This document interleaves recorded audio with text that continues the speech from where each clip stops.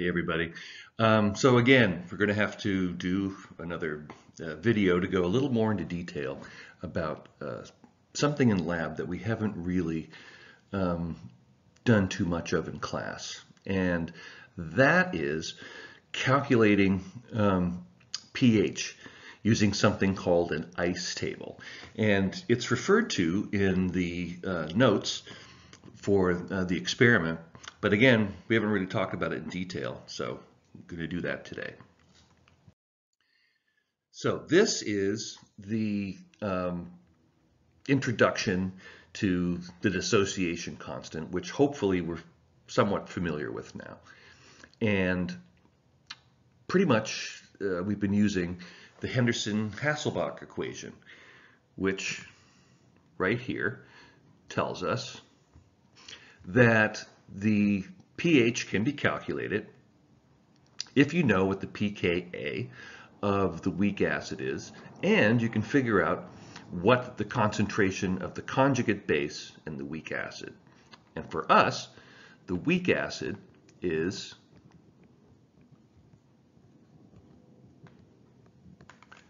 acetic acid, and the conjugate base is acetate. I may sometimes use AC for acetate, but same thing. So this is our weak acid. And this is our conjugate base. And so basically what we need to do is figure out what the concentration of our acid is at any particular time and figure out what the concentration of our base is at any particular time. And we can figure out what the what the pH is, okay? And that's basically what they're asking um, when you do your report. So let's look at um, how we're going to calculate that. So here's the introduction to what we call an ICE table. Now the ICE table refers to I for initial, C for what's the change, when something is changed in the reaction. And then E, what happens after the change when equilibrium is reestablished. And so in the last uh, chapter, um, one of the things that you may not have uh, spent much time looking at if you didn't look at the at, at the lecture was I talked a little bit about what an equilibrium really is. And an equilibrium is sort of is misunderstood by a lot of students. When they hear the term equilibrium, they think that means that everything is at the same concentration. And that isn't the case. What equilibrium means is that the concentration of reactants and products don't change over time. Um, it doesn't mean that they're the same. You could have a lot more reactant or you could have a lot more product. And we know with this weak acid, this is our weak acid, acetic acid, we know that that doesn't ionize much. Um, in fact, the K, the Ka, the equilibrium constant for this acid, which is the product of the two products, the concentration of the two products, you multiply those together, and you divide them by the concentration of the acetic acid. So it's the concentration of H plus times the concentration of acetate, and you divide that by the concentration of the acid itself. And that's really small. It's a really small number. It's around 1.8 times 10 to the minus 5. That means that this forward reaction, where, come on, that means this forward reaction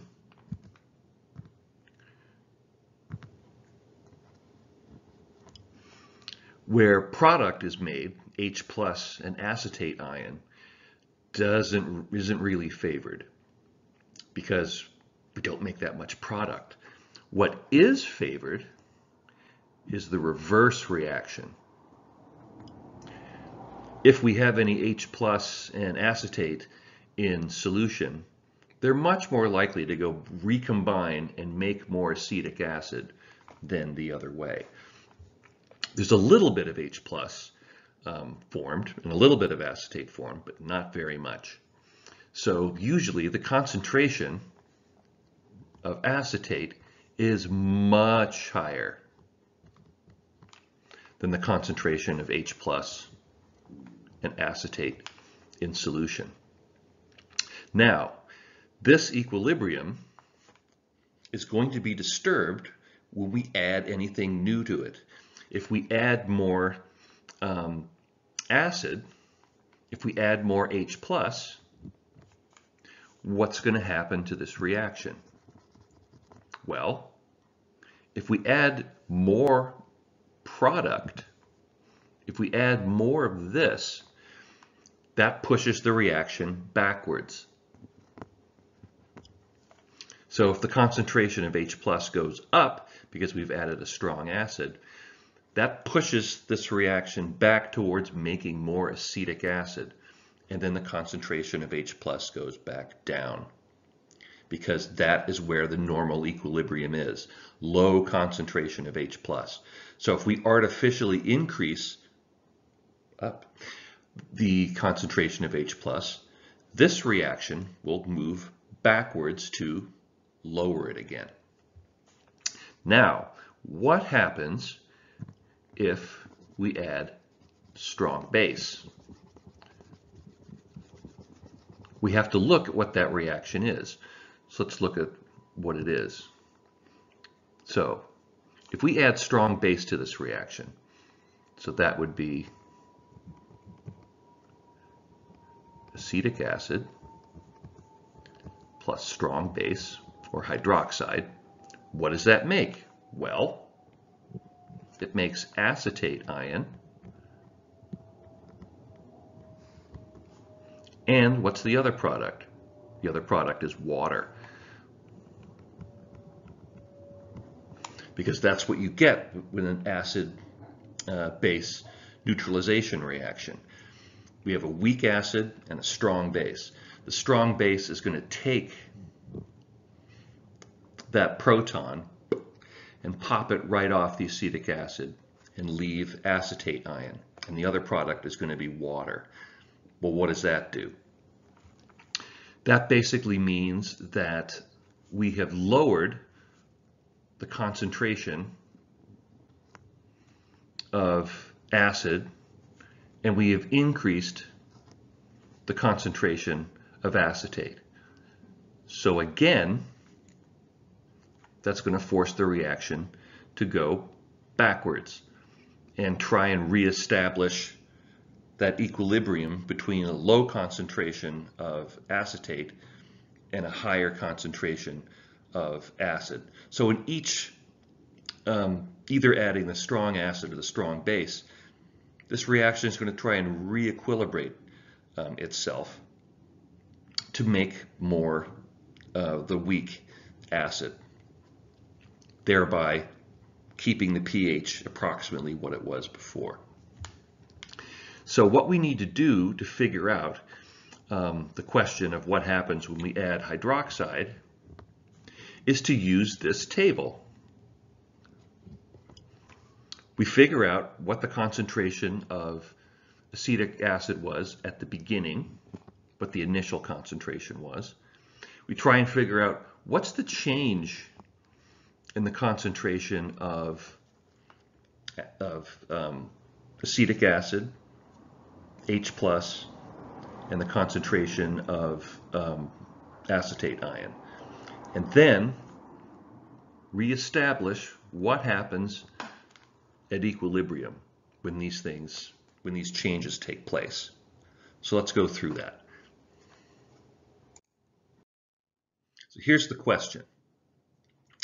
And this refers to the second um, experiment we did last night when we took the pH 4.7 buffer and then diluted it. So we put two mils of buffer in each well and we want to calculate the final pH the final pH oops, not, a good color. The final pH of the undiluted buffer after a quarter of a mil, a very small amount, that's basically what we're using for a drop, 0.25 mils. A 0.1 molar sodium hydroxide is added. They give you the Ka, and we have need to figure out what the buffer concentrations were. So, if you remember, for the pH 4.7 buffer, we added equal volumes of, let's change that color, 0.1 molar acetic acid and 0.1 molar acetate ion, sodium acetate. But since it completely dissociates, we get sodium and we get acetate. Sodium is going to be a spectator ion. So we added equal volumes of that. So what are the final concentrations? Well, if I have 100 millimolar acetic acid and I add an equal volume of something else, then I've lowered that concentration by a factor of two. So my final concentration is 50 millimolar acetic acid and 50 millimolar acetate ion. Those are my initial, so that's the I in the ice. That's my initial concentrations. So then we add 0.25 milliliters of hydroxide. What is the um, concentration of hydroxide? Well, we see that it's 0.1 molar. So how many moles is that? That is 0.25 mils times 0.1 molar. Or let's convert everything to liters and moles so we can get an actual uh, number since molarity is in moles per liter. 0.25 ml, that is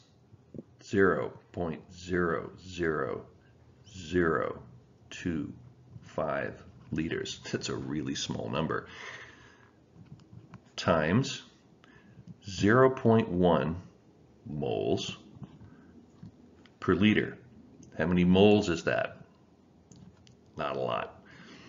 So 0.000025. Again, we're dealing with really, really small numbers here. So that's not a terribly large amount of base. But we're dealing with really, really small volumes here too. So the changes could be dramatic.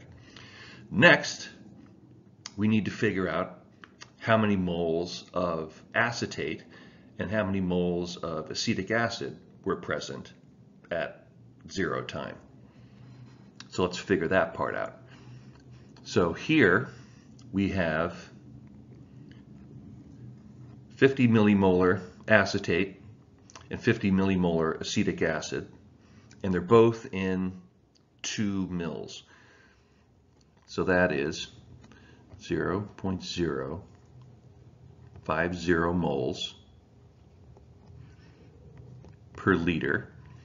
And how many liters is that? Again, not a lot. 0.002 liters. That's 2 mils. So we have a total of 0.0001 moles. And that's going to be true for both of them because they have the same concentration. So we have the same number of moles of acetic acid and acetate ion. Same number of moles of both of them, okay? So we've established what the conditions are at the beginning. That's how many moles of both acetic acid and acetate we have. Now we got to figure out what the change is going to be. So let's erase some of this stuff. So let's look at what the reaction is again, because that will tell us um, what the changes are we need to make. So again, the reaction is acetic acid plus hydroxide ion make water and acetate ion. So some of you may be wondering, hey, you didn't calculate the concentration of H+.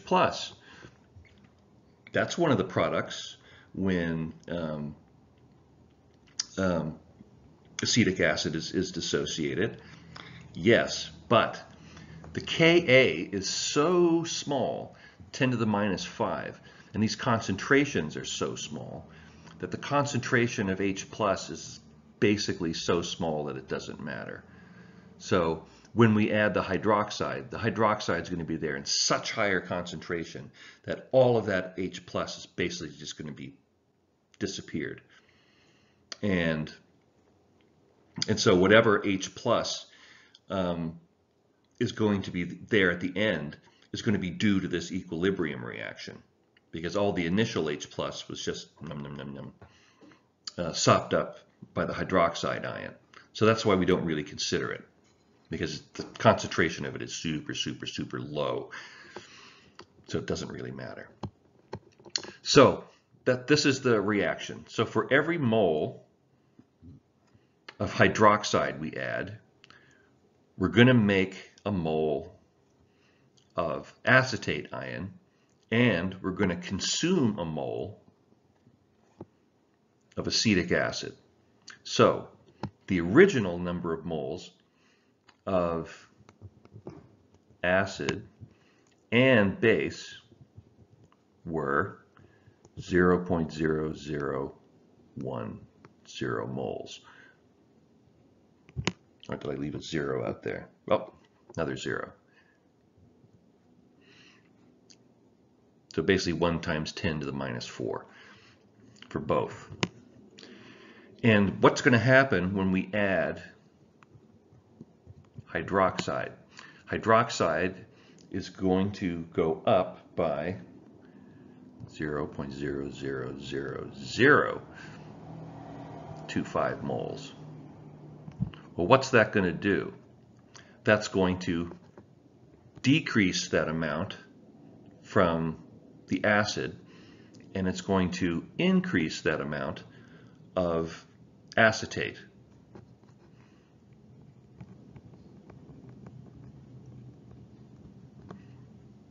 And the new number of moles of acetate will be that much higher. So now what are we left with? So the amount of acetic acid goes down and we're left with again, really small number, 0 0.12345 moles, and the amount of acetate goes up by the same amount. So 0 0.0000125. So the acid goes down, the conjugate base goes up and all of the hydroxide gets consumed. So it is gone. So now this is what the new equilibrium is going to be. The new equilibrium that's been established is that acetic acid is now lower concentration and the acetate is higher. So now we have to reestablish a new equilibrium. The equilibrium of that reaction, again, is acid, H plus, and acetate. So now we have new concentrations of the acid and a new concentration of acetate. So how do we figure out what the pH is? And that's where our Henderson-Hasselbalch equation comes to the rescue. Because you remember that tells us we can calculate the pH if we know two things. Well, three things really. One being, do we know what the pKa is? Yes, we do. Do we know what the um, concentrations of the conjugate base and the weak acid are? Yeah, we do now. So now we can calculate what the pH is. So again, a lot of stuff here. Let's, let's erase it. So Henderson-Hasselbalch equation, again, is pH equals the pKa plus the log of the conjugate base, and so for us that would be acetate, divided by the concentration of the weak acid. And so what I'm going to do is just put in the number of moles that we just calculated. I don't need the concentration. Why? Because moles, the concentration is just moles over liters. So if I divide moles over liters by moles over liters, if my liters are the same, they just cancel out. And it's just a ratio of moles to moles. So I don't really need to calculate the, the, the concentration. So I can just use moles. And so since I have the moles, that's what I'm going to use. So I'm going to use the number of moles of acetate and acid that we just calculated a minute ago. And so the number of moles of, of acetate was 0.000125 and the number of moles of acid was 0.0000075. And that ratio is 1.667. So to get the pH, we need the pKa plus the log of 1.667. Well, the log of 1.667 is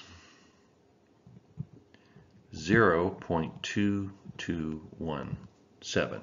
So basically 10 to the 0.2217th power equals 1.667. The pKa is 4.75 for acetic acid. And so when we subtract 0.2217 from each side, we get a pH of 4.25, oh, 52, sorry. Damn dyslexia keeps five two eight one. So these are three significant digits and 4.53. So you can see that's why the pH didn't change very much. When we had the um, concentrated buffer at 4.7 and we added hydroxide to it, the color didn't change, did it? No. And we wouldn't have expected it to because the pH only went from 4.7 down to 4.5, which isn't really enough uh, to change the color very much. And so we didn't really see a change of color. So that's the answer for that question. Now there's another one that asks, what's the final pH when you when you have the second dilution? So you remember we did three three dilutions, right? We took the original buffer, we diluted it by four, and then we diluted it by four again, and we diluted it by four again. So the second dilution basically would be taking the concentrations, which were 50 millimolar acid and 50 millimolar base, conjugate base, and diluting them by a factor of 16.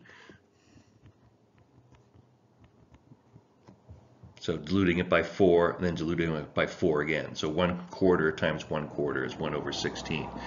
So that reduces those um, concentrations way down. Now they're only 3.1 millimolar each. And it also so also reduces the number of moles of each by 16. So if we look at how much um, we had before, we had 0 0.0001 moles of each one. Now we have 16 times less. So now our original concentrations are, again, really super small numbers here. May help you to have a scientific calculator. Um, one, two, three, four, five, six, two, five. So in other words, 6.25 times 10 to the minus 6 moles of both acetate and um, acetic acid.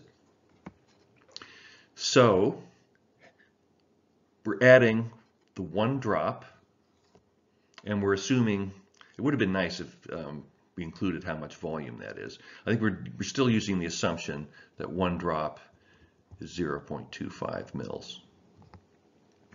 So we're adding the same amount of sodium hydroxide we did last time.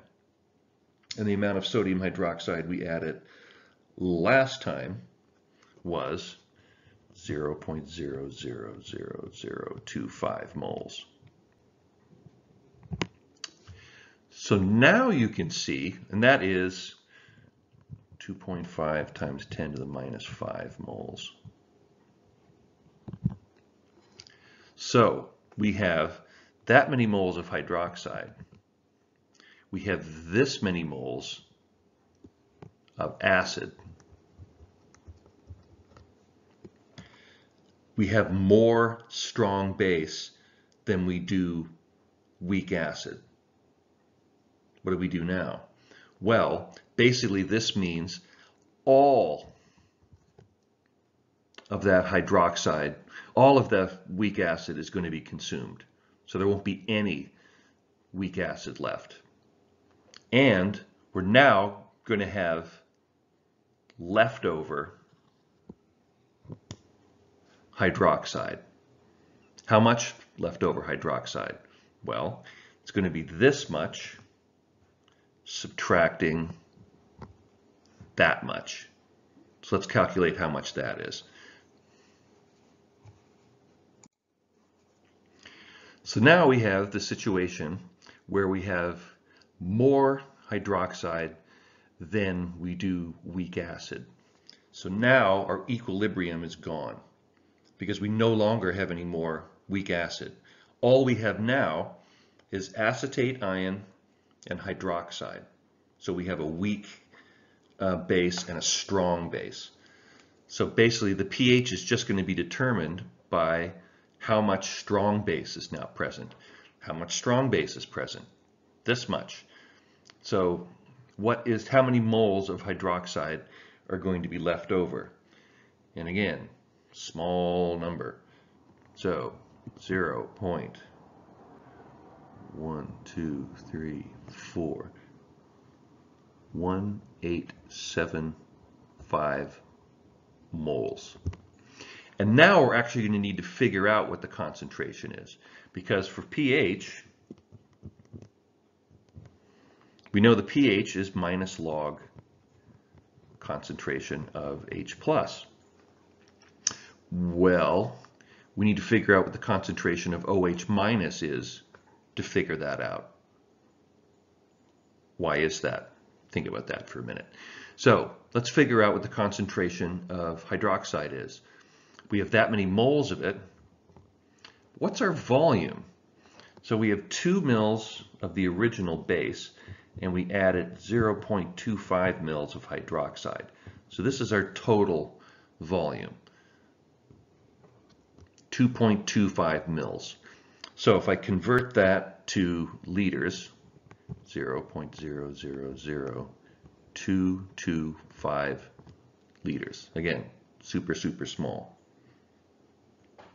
Did I put too many? Too many zeros in there. Oops. Here we go.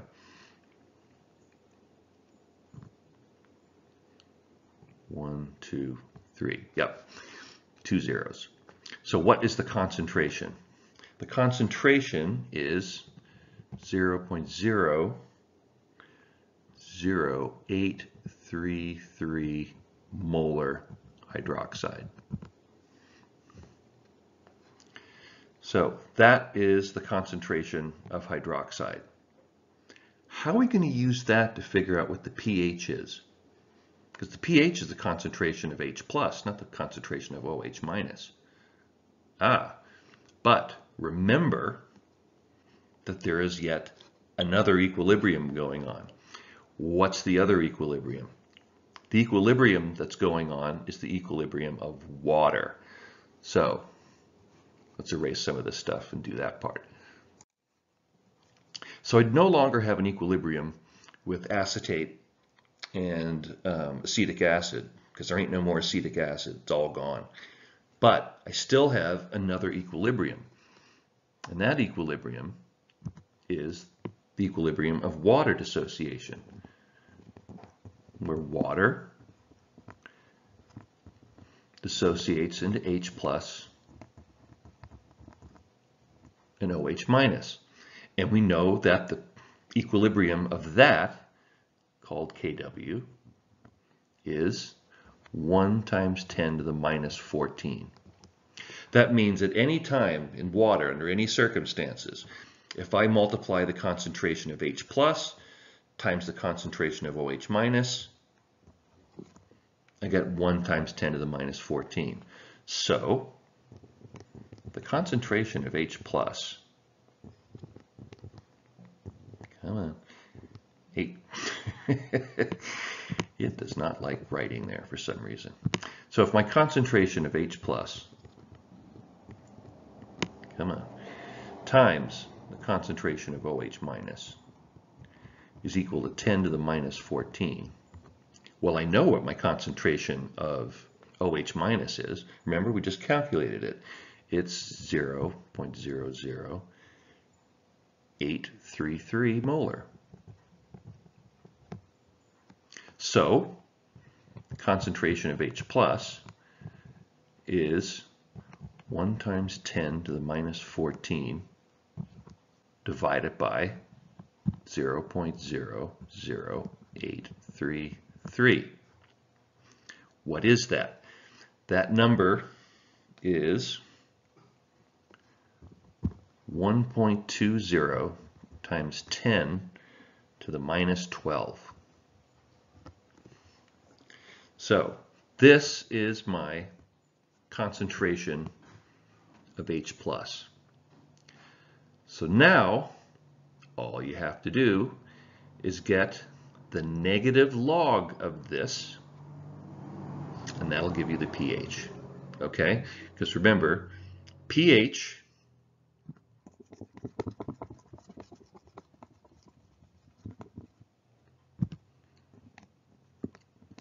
pH is equal to the negative log of the concentration of H+. And the answer for ours is going to be minus log 1.2 times 10 to the minus 12. Man, looking grim. So all you need to do to solve that is get the minus log of 1.2 times 10 to the minus 12 and you'll have your answer. Okay. Have a great weekend, and uh, post this as soon as the, my internet is back up. All right, bye-bye.